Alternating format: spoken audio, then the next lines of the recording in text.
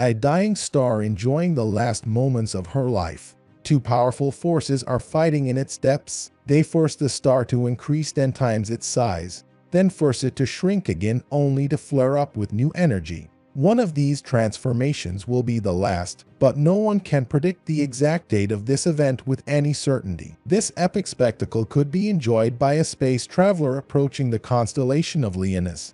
It is there that the pulsating red giant is located, which has been beating in death throes for thousands of years. Greetings to everyone on the Space Top channel. In this video, we will talk about a supermassive star that is about to end its life cycle with a bright flash called a supernova. Before you start watching, be sure to subscribe to the channel, because every video on the channel is a lot of work. Well, fasten your seatbelts. I wish you a pleasant viewing.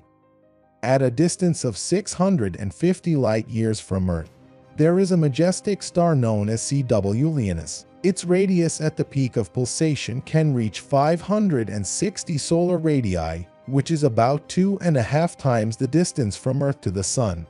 With the hypothetical location of CW Leonis in the center of our system, all the planets up to Mars would be under its surface. The boundaries of this star would even touch the inner boundary of the asteroid belt. By the way, the mass of the star is not so great, about three times the mass of the Sun. Its surface temperature is about 2000 degrees Celsius, but because of its impressive size, the star emits an average of 8,500 times more energy than our Sun. Like any other red giant, CW Leonis is at the final stage of its life. Its age is not precisely determined, but it is estimated to be several billion years old. It is assumed that once CW Leonis was a blue-white star with a mass about five times the mass of the Sun. However, about a billion years ago, most of the hydrogen of the celestial body burned out and turned into helium, slowly settling in the center of the star. Helium displaced all the remaining hydrogen and formed a red-hot core that did not participate in any thermonuclear reactions. This process is typical for all stars whose mass is close to the mass of the Sun. The internal pressure of the star causes it to expand to a huge size, which makes the outer layers more sparse and unstable. The diameter of the space object increases tenfold, and its color gradually acquires a blood red hue. A thermonuclear reaction is still taking place in the bowels of the star, which leads to an increase in the pressure and temperature of the stellar plasma. At a certain point, this triggers a chain reaction of nuclear fusion during which helium nuclei turn into carbon. This is the so-called helium flash. This is a complex multi-level physical process that radically transforms the internal structure of a star. Since its core is incredibly heated, its outer layers, on the contrary, cool down and darken. Currently, CW Leonis contains a large amount of carbon, but its mass is not enough to achieve the next level of nucleosynthesis. As a result, the thermonuclear combustion inside the object becomes unstable. Gorange stellar matter gradually cools and contracts under the influence of gravity. This heats up the inside of the star again, and the reaction is triggered with renewed vigor. Having received a new portion of thermal energy, the stellar matter expands again, and Gorange disappears. It is assumed that this cyclic process underlies random changes in the luminosity of the star. CW Leonis needs as much as 600 days to go through a pulsation cycle, and at its peak its luminosity is about 11,300 times brighter than the Sun.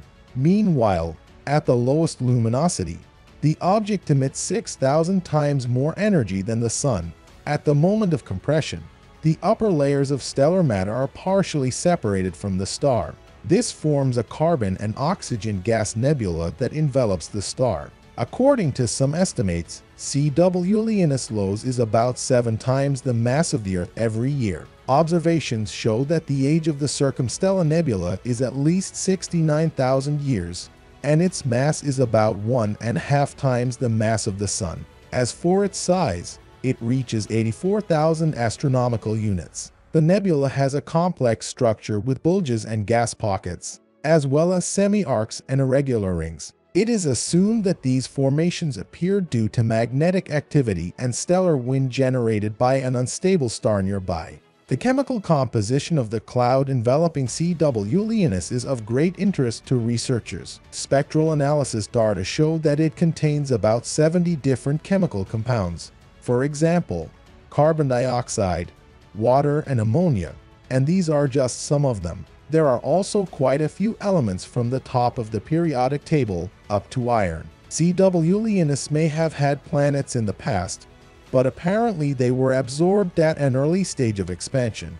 In any case, long-term observations have not revealed any obvious traces of their existence in the past. What was recorded was barely noticeable changes in the orbit of the star back in 1994, and more recently, in the 2017 year.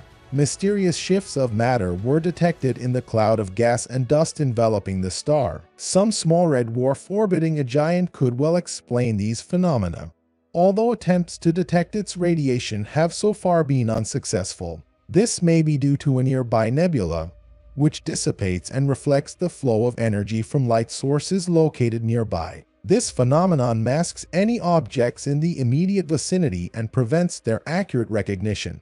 The size of the star CW Leonis is definitely larger than the Sun. The plane will take about a hundred years to make a complete revolution around the giant. Another outstanding feature is the relatively high water content near the star and its shell. At first, it was assumed that the star would melt and absorb icy comets as it expanded. However, Observations made in the 2009 year showed that the temperature of some spectral lines reaches thousands of degrees Celsius, which is possible only if water vapor really forms in the upper layers of the giant. This fact did not fit into the then accepted model of the structure of red giants, according to which all the oxygen in the stellar matter necessary for the synthesis of water should be completely consumed for the formation of carbon monoxide. Such reactions can occur only at fairly high temperatures, that is, inside stellar matter, but it is practically impervious to cosmic rays. This paradox can be explained by another assumption. Since the star is unstable, large gaps and areas with low density sometimes appear on its surface, where ultraviolet radiation is not blocked as effectively. The total mass of water vapor in the atmosphere and outer layers of the star is estimated at several quintillion tons. No matter how huge this figure may seem, in fact, water is only about a billionth of the total mass of the star. According to modern ideas about the evolution of stars, being a giant, CW Leonis is now experiencing its last life cycle. It will exhaust its stellar fuel in the next 10,000 years, after which it will shed its outer layers as a result of a powerful explosion. It will turn into an incredibly hot and dense space object a white dwarf. Its mass will be about 80% of the mass of the Sun, and the temperature will reach several million degrees in the first seconds after the transformation. However, without an energy source, it is destined to slowly and irrevocably fade away over the next billions of years. Eventually, the celestial body will become almost invisible against the background of the cosmic void when it turns into a mysterious black dwarf. But this will not happen in the near future. The shock wave and the mind-blowing temperature in the epicenter will lead to the formation of new elements that are not present in the bowels of the star. For example, uranium, gold, and lead. Later they will become part of the new celestial objects. However, millions of years later, Radioactive decay will heat the bowels of the planets, melt the ice, and saturate the oceans with trace elements, thus creating conditions for the origin of life. The universe is constantly evolving, and global cataclysms and destruction are an integral part of this process. At the end of each storm, new rays of light appear. I hope you enjoyed this video. If that's really the case, then subscribe to the channel and give a thumbs up. Well, I'm not saying goodbye to you, because we still have a lot of new things for you. See you in the new video.